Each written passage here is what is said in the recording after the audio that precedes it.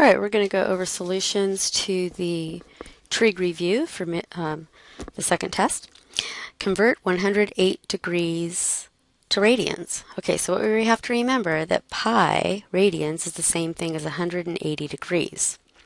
So if they're equal to each other, then I can divide both sides by the same number. So let's say I divide both sides by pi, then that says 1 is the same thing as 180 degrees over pi. On the other hand, if I divide both sides by 180 degrees, then that says pi over 180 degrees is also equal to 1. So the idea is that both of these numbers equal 1. And you could take anything and multiply it by 1, right? So let's start off with this 180 degrees, and I want to get my answer in radians. Oops, 108 degrees. So I don't want my answer in degrees. So I want to multiply by one of these fractions so that the degrees will cancel out. So I would have to choose this one. Okay, so I'm going to multiply this by the number 1, right? And one way of writing the number 1 is pi over 180 degrees. Now when you do that, the degree symbols, right, will cancel out. I'll have a pi in my answer still. And so what I need to do is just reduce the 108 over 180. So you have to think what number goes into both of those. Well, I can see that uh, 9 goes into both of those numbers, but you could divide by 2, you could divide by 3, you could divide by 6, whatever you could see, but just reduce it as far as you can you can go. So um, I'm going to just divide by 9 to begin with. So 9 goes into 180 20 times, and the degree symbols are also going to be canceled out at this point. And then 108 divided by 9 is 12. All right, so I could reduce again. So what goes into both 12 and 20? 4 go into both of those numbers. So let's cancel again. 4 goes into 12 three times, 4 goes into 25 times. So finally, I'm going to get my answer as what's left on the top, 3 times pi over 5. Now, one way you could check this is if you multiply it back by 180 degrees over pi, you should get back into the um, 108 degrees again. So that's one thing you can do to check it. All right, let's go on to number two. Now we're con converting 8 pi over 5 radians to degrees. So I start with 8 pi over 5 and I want to get this in degrees. So am I going to multiply it by 180 degrees over pi or vice versa? Well, I need to get my degrees in the numerator, so I need to multiply it by 180 degrees over pi. All right, remember that we're just multiplying by 1. So the pi's cancel.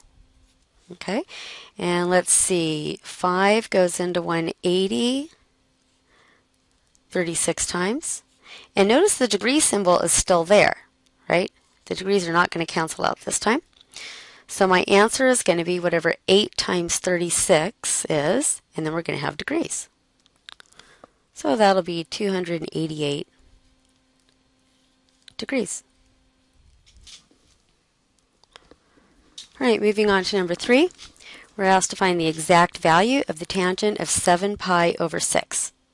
There's a couple ways you could do this, or at least there's several ways you could do this. You could change 7 pi over 6 to degrees if you're more comfortable in degrees, or you could think about where that is, remembering that over here 180 is the same as pi, so if I break it up into six pieces, this angle would go over here with just an extra sixth, right? And so that's where 7 pi over 6 is, right here. And then you could recognize that as the 30, 60, 90 triangle. But it is below the x-axis, right? It's down here. And so I like to do, this is different ways, I like to think of this as negative 1 even though it's not really a length of negative 1. And this is negative square root of 3, and here this is 2. The actual triangle has sides square root of 3, 1, and 2, right? That's the special 30 degree angle triangle. But I like to do it this way when I think of tangent, or some people just know that the tangent in quadrant 3 is positive. So the tangent's y over x, so it's going to be negative 1 over negative square roots of 3, negative 1 over negative square roots of 3, which reduces to 1 over square roots of 3. Okay, and that's the correct answer. But if you want to rationalize the denominator, you'd multiply numerator and denominator by square root of 3, and that's another way of writing the right answer. Now, if you had changed this to degrees, you would have had 210 degrees, and then you could have figured out using degrees. All right, let's go on to B. We're doing the sine of 3 pi over 4. Again, if you want, you could think of this as degrees. So 3 pi over 4, that's 3 fourths of pi. So it's only going to go up to here. And that's going to be the 45 degree angle here when you drop it. All right. And remember, I'm kind of loose about the way I write this. I like to write negative 1 and positive 1. This is just telling you if I were going to write the coordinates of that x and y um, ordered pair. is just telling me what the signs of the x and y ordered pair would be. So this would be square root of 2. And now the sine is just the y value over the radius. So it's 1 over square root of 2. Or, if you want to rationalize the denominator, you would multiply numerator and denominator by square root of 2 and get square root of 2 over 2. If you change this to degrees, you would have had 135 degrees. And you could use any method you want for determining the sine once you know it in degrees as well. All right, the last one of number three is the secant of pi. All right, now here you just have to think of the unit circle and the ordered pairs at pi. So pi is over here, and that's the ordered pair negative 1, 0, and the radius is always 1 on the unit circle. And the secant's the reciprocal of the cosine, right? So I remember that the cosine xx over r, so the secant is going to be r over x, and then I just look over here, r is 1, x is negative 1, and so the answer is negative 1. All right, number 4. We want to state the radius of a circle if the arc length intercepted is 3 pi units when the central angle is 2 pi over 5. Now, if you want, you can think of a picture, right? So you've got this circle here. We don't know the radius, but we know the arc length is 3 pi when the central angle is 2 pi over 5, 2 fifths pi. So that is, you know, Oops. See, 2 fifths pi somewhere over here, it looks like. Okay? Because it's a little bit less than half pi. So then the question is, that's sort of what we're looking at. All right? So the angle right here is 2 pi over 5. And the arc length is 3 pi. We want to know the radius. So remember the formula, S equals R theta. And we know the arc length is 3 pi.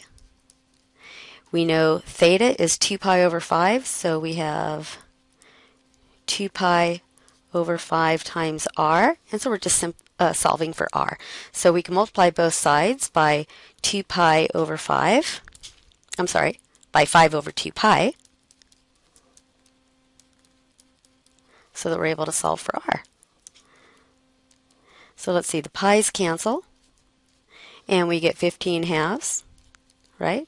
So we say the radius is seven and a half units.